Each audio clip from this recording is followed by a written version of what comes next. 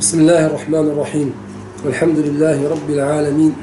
وصلى الله على سيدنا محمد النبي الأمي وعلى آله وأصحابه أجمعين.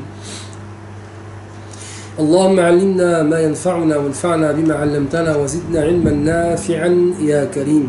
آمين آمين. وبعد فهذا هو الدرس السابع والسبعون من سلسلة دروس كتاب الفوائد المترعة الحياض. للعلامة الشيخ شمس الدين أحمد بن سليمان بن كمال باشا الحنفي. الله. شرح كتاب رياض الصالحين للإمام محي الدين أبي زكريا يحيى بن شرف النووي الشافعي رحمهما الله تعالى ونفعنا بهما. كنا في الدرس السابق قد قرأنا حديث النبي عليه الصلاة والسلام الحديث الطويل لم يتكلم في المهد إلا ثلاثة. وصلى إلى قوله رحمه الله قوله صلى الله عليه وسلم لم يتكلم في المهد إلا ثلاثة قال ليس في هذا الحديث الصبي الذي كان مع المرأة في قصة أصحاب الأخدود وقد ذكره مسلم وعليه يكون الذين تكلموا في المهد أربعة وليسوا ثلاثة. وجوابه أن أو قال وجواب أن ذلك الصبي لم يكن في المهد بل كان أكبر من صاحب المهد. وإن كان صغيرا يعني قد يكون عمره يعني ستة شهور خمس شهور ممن, ممن لم يعتد الكلام بعد يعني. قال المهد مصدر مهدت الشيء أم مهده إذا سويته وعدلته. ومهد الصبي كل محل يسوى له ويوطأ. فقد يكون سريره أو سريره وقد يكون حجر أمه أو حجر, أم حجر أمه. كما قال قتادة في قوله تعالى من كان في المهد صبيا قال وظاهر هذا الحديث الحصر. ظاهر هذا الحديث الحصر أنه يعني لا يوجد إلا ثلاثة هم الذين تكلموا في المهد. وقال الضحاك تكلم في المهد ستة. شاهد يوسف وصبي ماشطة امرأة فرعون وعيسى ويحيى وصاحب جريج وصاحب الأخدود. قلت وأسقط صبي الجبار فيكون المتكلمون في المهد سبعة, سبعة. وقد يجاب بأن من عدا هذه الثلاثة كانوا كبارا بحيث يتكلمون ويعقلون. وقيل كان كيف يعني يتكلمون ويعقلون؟ وكانوا صغارا. يعني ينبغي أن أن يقال لا, لا يعني لم يكونوا في المهد بمعنى يعني آه ليسوا صغارا في الأيام الأولى في الأيام الأولى من الولادة. وقيل كان النبي صلى الله عليه وسلم أخبر بما علمه ثم أخبره الله بما شاء من ذلك فأخبرنا. قوله صومع بفتح الصاد والميم. صبي الجبار من هو؟ ما مر معنا في الحديث قرأناه صباحا الحديث. الدرس السابق قلنا ذا تلك المرأة التي كانت تحمل صبيا فمر من أمامها رجل على دابة فخمة فارهة بهيئة جميلة فقال اللهم اجعل ابني مثل هذا. فقال لا هذا هو الجبار. آه نعم نعم نعم قوله صومع بفتح الصاد والميم الجوهري يقال أتانا بثريدة مصمعة إذا دقت أو إذا دققت وحدد رأسها. وصومعة النصارى فوعلة من هذا لأنها دقيقة الرأس. قوله يا رب أمي وصلاتي كان الصواب في حقه إجابتها لأنه كان في صلاة نفل والاستمرار فيها في النوافل تطوع وليس وليس واجبا. وإجابة الأم وبرها واجب وعقوقها حرام وكان يمكنه أن يخفف الصلاة ويجيبها فلعله لذلك أحبابنا لذلك كما مر معنا أن عالم واحد أشد على الشيطان من ألف عابد. جريج لو كان عالما لترك الصلاة وأجاب أمه ولكنه عابد ليس بعالم فوقع بهذا الخطأ. قال فلعله خشي أن تدع أنها تدعوه لمفارقة صومعته والعود إلى الدنيا ومتعلقاتها وحظوظها. ويضعف عزمه فيما نواه وعاهد عليه. هذا تعليل وتبرير لموقف جريج. روى الترمذي الحكيم في النوادر عن يزيد بن حوشب الفهري عن عبد الله قال سمعت رسول الله صلى الله عليه وسلم يقول لو كان جريج الراهب فقيها عالما لعلم أن إجابته أمه من عبادة ربه ولكنه كان عابدا ولم يكن عالما. هذا يدل على أن جريجا كان عابدا ولم يكن عالما إذ بأدنى فكرة يدرك أن صلاته نافلة وإجابة أمه واجبة. لا سيما وقد تكرر مجيئها إليه وتشوقها واحتياجها إلى مكالمته. فلا فلا تعارض يوجب إشكالا ويبعد اختلاف الشرائع في وجوب بر الوالدين. هذا من بر الوالدين هذا متفق عليه من الشرائع وبعيد جدا أن يكون عقوق الوالدين في بعض الشرائع مأذونا به وفي بعض الشرائع محرما. هذا بعيد تماما. في جميع الشرائع بر الوالدين ركن من أركان الدين. قال والظاهر أن هذه المرأة كانت عالمة فاضلة. أمه كما قلنا في لما قرأنا الحديث هي اختارت الدعاء. لم تقل اللهم اجعله زانيا. اللهم لا تمته حتى يرى وجه الممسات حيث رفض رؤية أمه. انظر كيف كان دعاء. يعني كان الدعاء متقن. دعاء إنسان فاهم عاقل. ليس كبعض الأمهات كل ما يجري على لسانها.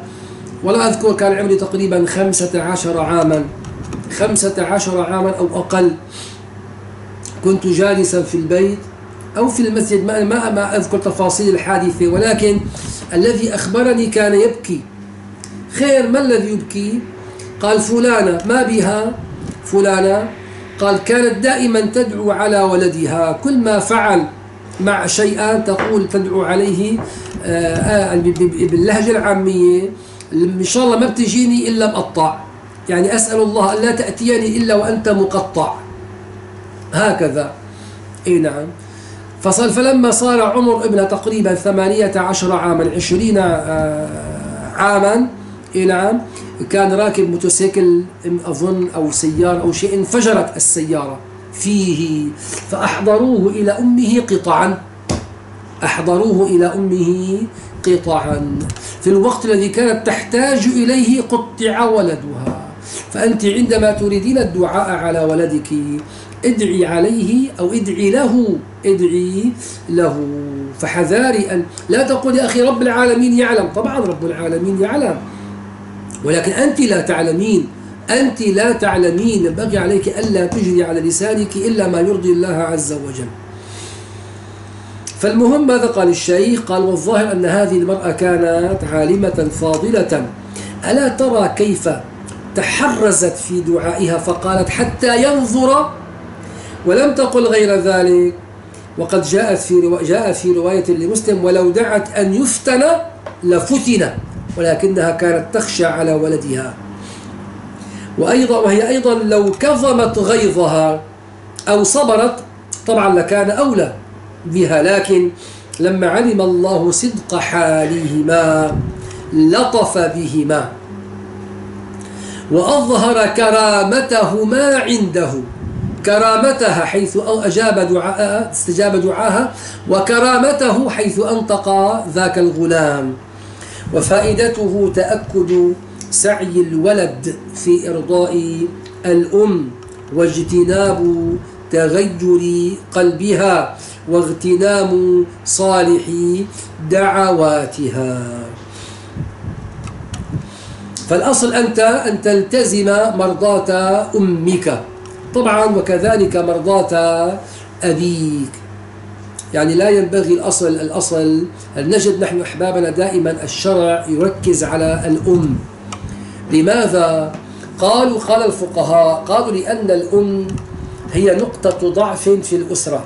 هذا غالبا يعني غالبا هي تكون ضعيفة. هناك أمهات عندهم لا أريد أن أتكلم. المهم هي نقطة ضعف نقطة ضعف. أما الولد فيخاف من أبيه يخاف من أبيه فلا يتجرأ آه يعني على مخالفته فلا يتجرأ من عقوقه فلا يتجرأ أن لا, أن لا يسمع كلامه. أما الأم ربما يتجرأ كثيرا عليها. فلذلك لذلك آه، كان التركيز على موضوع طاعة الأم وعدم إغضابها وعدم إسخاطها وعدم إزعاجها. قال المومسات بضم الميم الأولى وكسرها. المومسات عفوا وكسر الثانية بضم الميم الأولى وكسر الثانية. أي الزواني البغايا المتجاهرات بذلك الواحدة مومسة ومعنى يتمثل بحسنها أو يتمثل يتمثل بحسنها. ماذا يعني؟ يعني يضرب بها المثل لانفرادها به من شدة جمالها. ذكر الفقيه أبو الليث أن جريجا لما أخذوه قال لأمه يا أماه إنك دعوت الله فاستجاب دعاءك. حتى في بعض الروايات أنهم لما جروه جروه كان يضحك كان يضحك وهم قد ربطوه وجروه. فقيل له ويحك تساق إلى حتفك وتضحك. قال لقد أصابتني دعوة أمي. أصابتني دعوة أمي. يضحك. لما رأى من من مكانة أمه عند الله سبحانه وتعالى. قال يا أماه إنك دعوت الله فاستجاب دعاءك فادعي يكشف غائلة ذلك عني. فقالت أمه اللهم إن كان جريج إنما أخذته بدعوتي فاكشف عنه. قال وروي أن جريجا قال للمرأة أين أتيتك؟ وأين أصبتك؟ قالت تحت الشجرة. وكانت الشجرة عند الصومعة. فقال جريج اخرجوا إلى تلك الشجرة. فقال يا شجرة أسألك بالذي خلقك أن تخبريني من زنى بهذه المرأة؟ فقال كل غصن منها راعي الضأن. وما ذاك على على الله بعزيز؟ واستقر في عقولنا وفي عقيدتنا أحبابنا. ما كان معجزة للنبي جاز أن يكون كرامة آه، لولي. والشجرة آه، خاطبت النبي عليه الصلاة والسلام وسجدت له. وروي عن ابن عباس رضي الله عنهما أن أم جريج وكانت مجابة الدعوة معروفة فيهم في قومها بالصلاح وضعت يدها على بطن المرأة ثم دعت بدعوات فقالت اللهم أنت شاهد كل نجوى وعالم كل خفي. ومطلع على كل سر وأنت إذا شئت شيئا تقول له كن فيكون. لا يعازك شيء لا تحتاج إلى شيء يعني. ولا يعجزك ما تريد. وأنت ناصر أوليائك. اللهم صدق الصادق وكذب الكاذب. وألقى الله تعالى في نفسها النادي ما في البطن. فقالت يا صاحب البطن فأجاب لبيك لبيك لبيك. قالت من أبوك؟ قال فلان الراعي عبد عبد بني فلان. فتعجب الناس وخلص الله جريجا. إذا لا تخف لا يخف الواحد منا أحبابنا. يأتيه المدد من الله سبحانه وتعالى عندما يدخل بالله ويمكث مع الله وبالله ويرحل إلى الله ويعيش تحت راية الله وكلمة الله وعون الله ومدد الله هذا لا ينبغي أن يخشى أحدا. قال ابن عباس فانطلقت المرأة فوضعت بعد ثالثة فقال الفساق ومن وافقهم من الرهبان وغيرهم ما سمعنا شيئا ما سمعنا شيئا. فتكلم الناس من مصدق ومكذب. بعضهم قال سمعنا وبعضهم قال ما سمعنا. وخاضوا فيه. وكانت أم جريج مرضية فيهم لها مكانة عندهم. فأتت الملكة فقالت أيها الملك إن الذي أنطق الصبي في بطن أمه قادر على أن ينطقه خارجا من بطن أمه. وقد كذب الناس بما رأوا من العبرة. فأحب أن تجمع, أن تجمع لي المرتابين فقط. وتدعو هذه المرأة ففعل الملك وجيء بالمرأة ومعها صبيها فقالت أيها الغلام ابن من أنت؟ فقال أخبرتك وإنما مخبرك أنا ابن فلان الراعي عبد بني فلان. فتكلم مرتين مرة في بطن أمه ومرة وهو طفل. وروي عن ابن عباس أن جريجا كان شابا أديبا. عالما ترهب وهو ابن ثلاثة عشر سنة انقطع عن الدنيا وكان في عبادته عشرين سنة وكانت له أم ليست بدونه في العبادة والفضل. لكن أحبابنا. هذا أقوله دائما أنا أحبابنا. والله أنا في يوم من الأيام حاولت أن أتتبع وإن شاء الله سأفعل هذا الفعل.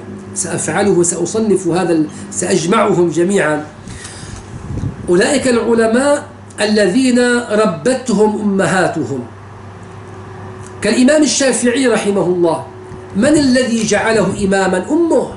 الأم يا أحبابي هي التي تجعل الإمام إماما والعظيم عظيما والحقير حقيرا والتافه تافها. الأم الأم هي التي تربي. إذا كانت الأم تافهة يكون أبناؤها تافهين. كانت الأم عالمة تقية يكون أبناؤها علماء أتقياء. لا علاقة للأب. الأب واحد بالمية اثنين بالمية ثلاثة بالمية عشرة بالمئة والباقي كله على الأم. الباقي كله الأم هي التي تربي. في الحقيقة هي التي تنشئ الجيل. هي التي تنشئ العظماء. وقديما لما قالوا وراء كل امرأة عظيم وراء كل عظيم امرأة صحيح هذا الكلام. وأنا أقول هذه المرأة ثلاثة. ثلاثة نساء تجعل العظيم عظيما. أولى النساء الأم. تجعل الإنسان عظيما الأم. تبدأ ببناء العظمة في شخصية هذا الإنسان حيث لا تخاطبه إلا خطاب العظماء خطاب الكبار ولا تعطيه إلا المهام الكبار. تعامله على أنه عظيم. على أنه جليل على أنه كبير على أنه قائد. وبعد ذلك الأنثى الثانية الأخت. الأخت تساند أمها.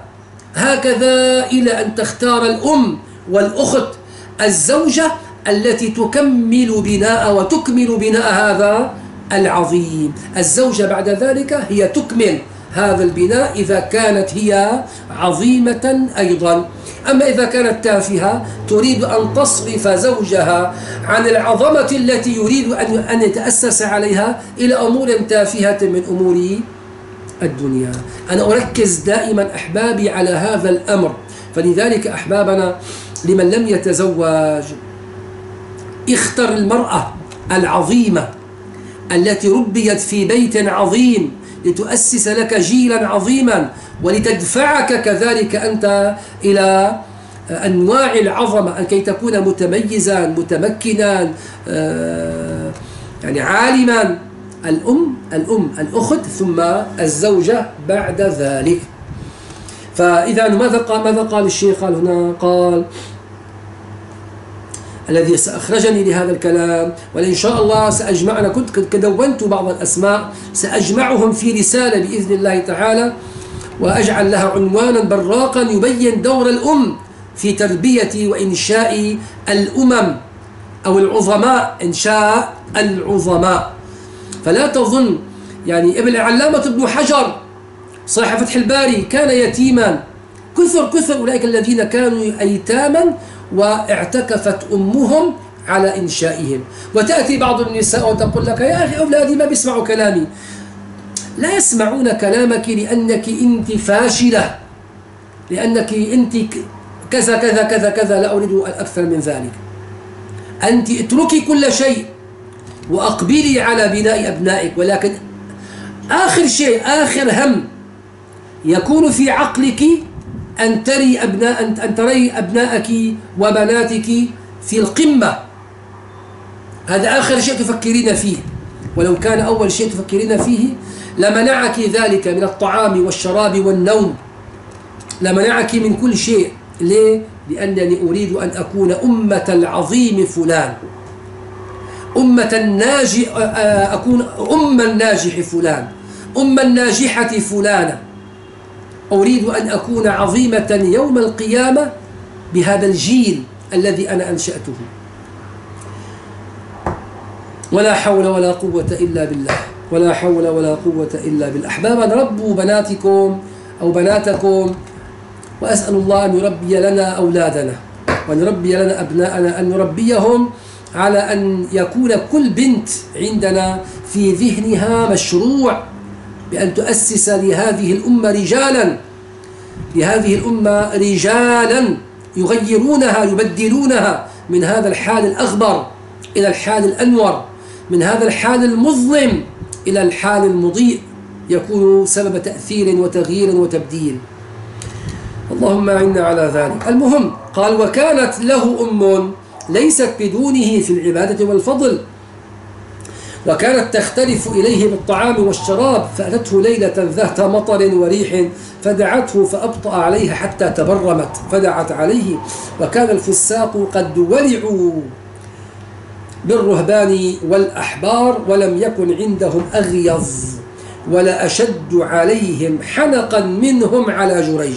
يعني كانوا الفساق قد يعني التفوا حول الرهبان وعبثوا بالرهبان والرهبان غيروا وبدلوا. كما تجد بعض طلاب العلم الآن يجلس مع أناس في المقاهي يشربون الأرجيل والدخان ويلعبون الورق ويلعبون بالزهر. كيف هذا؟ قال أنا آمرهم بالمعروف إن شاء الله. هذا باطل أنت أنت على باطل. فتجد هؤلاء يعظمون هذا الشيخ ويحبونه ويبجلونه ويقولون عنه أنه شيخ modern شيخ modern شيخ القرن الواحد والعشرين ولا حول ولا قوة إلا بالله. هذا ليس شيخ هذا مهلك. هذا ما حصل مع الرهبان في عهد جريج. وكان سنتهم إذا ترهب الرجل ثم أتى بالفجور لم يقبل منه إلا القتل. قد يقال الزاني لا يلحقه الولد وجوابه من وجهين أحدهما لعله كان في شرعهم يلحقه والثاني المراد من ماء من أنت. وسماه أبا مجازا. والصومعة هي نحو المنارة ينقطعون فيها عن الوصول إليهم وعن الدخول عليهم. فيه دلالة على أن من تعدى على جدار أو دار وجب عليه أن يعيده كما كانت. هدموا له صومعته أعادوها كما كانت. إذا انضبطت صفته وتمكنت مماثلته ولا يلزم قيمة ما تعدى عليه. وقد وقد بوب البخاري على هذا الحديث بقوله من هدم حائطا بنى مثله انظر هذه الفائدة الدقيقة التي استنبطها العلماء من حديث آه، من آه، صومعة جريج. قال فإن تعذرت المماثلة فالمرجع إلى القيمة. هذا مذهب الكوفيين والشافعي وأبي ثور وأهل الظاهر وهو مشهور ومذهب مالك وأصحابه وجماعة. أو مذهب مالك وأصحابه وجماعة أن فيه وفي سائر المتلفات المضمونات القيمة. إلا ما يرجع إلى الكيل والوزن بناء منهم على أنه لا تتحقق المماثلة إلا فيهما. يعني بالكيل والوزن فقط. أما ما عدا الكيل والوزن لا تتحقق المماثلة. الفارهة بالفاء النشيطة الحادة القوية وقد فروها بضم الراء فراهة وفراهية والشار الهيئة واللباس. الهيئة المزينة التي يشار إليها من حسنها.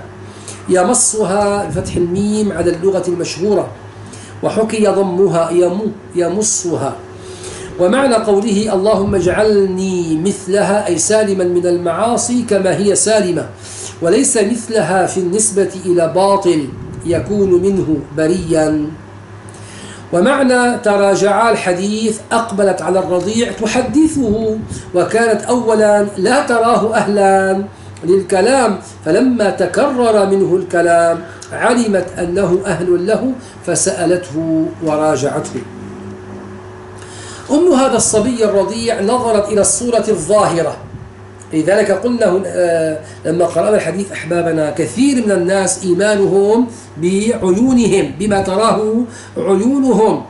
وهذا ما ينبغي أن يغتر به أصحاب البصائر.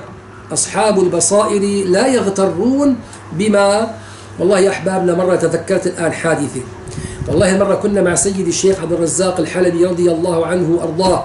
وجعله في الفردوس الأعلى. آمين آمين آمين. كنا والله يا أحبابنا جالسين في غرفته. كنت الفقير أظن اثنان أو ثلاثة. كنت أن أقرأ أمامه القرآن. ما أنا ما, ما أكملت الختمة عليه. وهذا الكلام قديم يعني قبل وفاته تقريبا الشيخ. أنا قرأت عليه القرآن ولكن ما قرأت ختمة كاملة. تقريبا هذا الكلام أنا فيما أذكر بالألفين أو قبل الألفين أيضا. المهم كنا جالسين نقرأ والشيخ من عادته يجلس هكذا. ويظنه الطالب أنه نائم ولكنه ليس فإذا ما أخطأ ولو بحرف ولو بحكم مباشرة يرده. كان جالسا هكذا. فدخل رجل زنجي أسود أسود أسود أسود أسود زنجي. فإذا بالشيخ يرجع هكذا الكرسي والله ويقوم على حي هكذا يرفع يرفع هكذا يقول أهلا وسهلا ومرحبا. نحن تفاجأنا وقام من خلف الطاولة وكان يعني كان كبير الشيخ عجوز يعني. وسلم عليه وأخذ بيده وأجلسه وقبله من رأسه. وتحدث معه عشر دقائق ربع ساعة ثم قام وغاد وعاد إلى الكرسي وجلس. فنظر هكذا كعادته الشيخ من تحت النظارات هكذا. نظر إلينا. قال يا ابني أما رأيت النور؟ والله يا أحبابنا والله لا أنساها. أما رأيتم النور الذي يسطع من وجهه؟ انظر كيف رأى نورا يسطع من وجهه. كان أول شيء يعني هو كان مطأطئا رأسه. يعني ما هو لا يراه. قال أما رأيتم النور الذي يسطع من وجه هذا الذي دخل؟ يعني شيء عجيب. كان حال عجيب والله العظيم يا أحبابنا. فهؤلاء العظماء أحبابنا يرون ببصائرهم. لا يخدعون لا يخدعون أبدا. وإن ظن ظان بأنه يخدعهم هم يعني يتغاضون من باب أنهم يسترون هذا المستور لا يريدون فضيحته. أما في الحقيقة سيد الشيخ عبد الرزاق سيد الشيخ أديب الكلاس الله الله كذلك هؤلاء يا أخي يرون ببصائرهم. الله. قال أم هذا الصبي الرضيع الذي ساقنا لهذا الكلام أنها نظرت إلى الصورة الظاهرة فاستحسنت صورة الرجل فدعت لابنها بمثل ذلك واستقبحت صورة الأمة وحالتها فدعت ألا يجعل ابنها في مثل حالتها. فأراد الله تعالى بلطفه تنبيهها بأن, بأن أنطق ابنها الرضيع بما يجب من مراعاة الأحوال الباطنة. والصفات القلبية. وهكذا ما قال النبي صلى الله عليه وسلم إن الله لا ينظر إلى صوركم ولكن ينظر إلى قلوبكم وأعمالكم. الحديث وكما قال بعض حكماء الشعراء ليس الجمال بمئزر. فاعلم وإن رديت وإن رديت بردا بردا. إن الجمال معادن ومناقب أورثن مجدا أو مجدا. إن الجمال معادن ومناقب تفعلها أنت تورثك مجدا.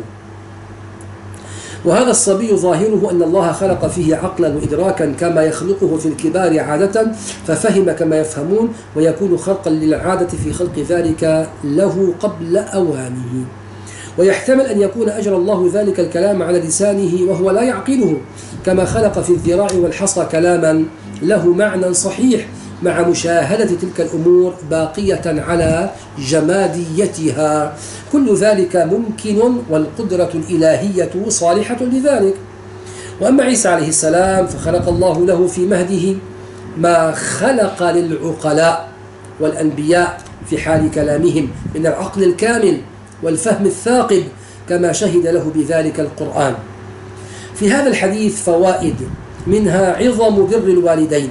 عظم بر الوالدين. وتأكد حق الأم وأن دعاءها مستجاب. ومنها أنه إذا تعارضت الأمور بدأ بأهمها. هذا الإنسان العالم الفقيه الفهيم تتعارض الأمور فيقدم الأهم فالأهم. يعني الأعظم فالأدنى الأولى فالأولى. ومنها أن الله تعالى يجعل لأوليائه مخارج عند ابتلائهم بالشدائد غالبا. قال الله تعالى ومن يتق الله يجعل له مخرجا. وقد يجري وقد يجري الله عليهم الشدائد في بعض الأوقات زيادة في أحوالهم وتهذيبا لهم فيكون لطفا يعني بهم. ومنها استح يعني إذا رأينا وليا ابتلي واستمر في البلاء حتى مات هذا لا يطعن فيه بدليل أن بني إسرائيل قتلوا في يوم واحد أكثر من سبعين نبيا. طب هذا النبي الذي قتل وعذب وأهين ومات وهو مظلوم ألم يكن نبيا؟ بلى. فأيهما أعلى رتبة هذا الولي المعذب أم ذاك النبي ذاك النبي على الرغم من ذلك مات معذبا وقتل مظلوما؟ فهذا لا يخدش في كون لا يخدش عفوا في كونه وليا. ومنها استحباب الوضوء الوضوء والصلاة عند الدعاء بالمهمات كما فعل جريج. ومنها أن الوضوء كان معروفا في شرع من قبلنا. فقد ثبت في هذا الحديث في البخاري فتوضأ وصلى. أما التيمم هو خاص بأمة نبينا محمد عليه الصلاة والسلام. وحكى القاضي عياض عن بعضهم أنه زعم اختصاصه بهذه الأمة. ومنها إثبات كرامات الأولياء وهو مذهب أهل السنة خلافا للمعتزلة. وفيه أن كرامات الأولياء قد تقع باختيارهم وطلبهم هو يطلب الكرامة ليه ليخلص من هذا المأزق الذي حل وقع فيه. وهذا هو الصحيح عند أصحابنا المتكلمين. وهذه عقيدة أهل الله. ومنهم من قال لا تقع باختيارهم وطلبهم. لا مو صحيح هذا الكلام. ونحن أنا ما أدركت ولكن أدركت من أدرك آه، سيد الشيخ أحمد الحارون رحمه الله تعالى كان يطلب الكرامات فتحصل على يديه. كان تحصل الكرامات باختياره هو يطلبها. إي نعم ولكن لم يكن رحمه الله ورضي الله عنه ممن يفتن. بتلك الكرامات ولم يكن ممن يقف عندها بل يتجاوزها مباشرة ليعود إلى حاله وطبعه. وفيه أن الكرامات قد تكون بخوارق العادات على جميع أنواعها ومنه ومنعه بعضهم وادعى أنه مختص بمثل إجابة دعاء ونحوه. لا ليس صحيح هذا الكلام. الكرامات قد تكون خرقا لعادة. وهذا غلط من قائله وإنكار للحس بل الصواب جريانها جريان الكرامات بقلب الأعيان وإحضار الشيء من العدم ونحوه. ثم قال باب ملاطفة اليتيم والبنات وسائر الضعفة. نقف هنا والحمد لله رب العالمين. ربنا تقبل منا وعافنا واعف عنا واقبلنا واحفظنا بأسرار الفاتحة.